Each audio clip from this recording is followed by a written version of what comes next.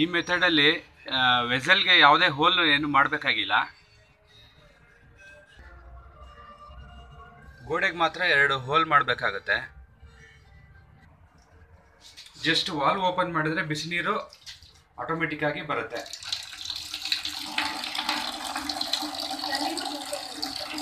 ಜೊತೆಗೆ ಬೇಕಾದರೆ ಪನ್ನೀರ್ ಮಿಕ್ಸ್ ಮಾಡ್ಕೋಬೋದು.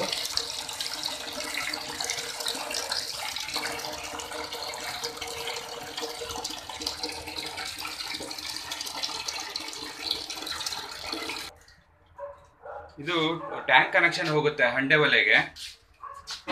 ಹಂಡೆ ಒಲೆಗೆ ನೀರು ಬಿಟ್ಟರೆ ಆಟೋಮೆಟಿಕ್ ತಣ್ಣೀರು ಹೋಗಿ ಬಿಸಿ ನೀರು ರಿಟರ್ನ್ ಬರುತ್ತೆ.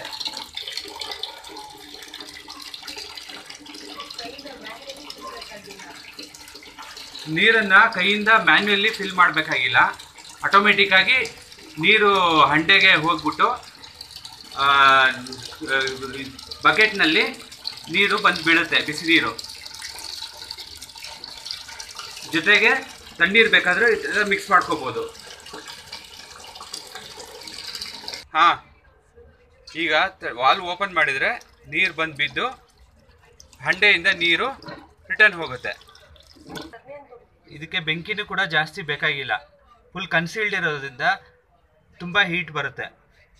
ಈಗ ಇನ್ನೊಂದು ಸರಿ ಡ್ರಾಯಿಂಗ್ ತೋರಿಸ್ಬಿಡ್ತೀನಿ. ಇದು ಹಂಡೆ ಒಲೆ. ಇದು ಇದು ಹಂಡೆ.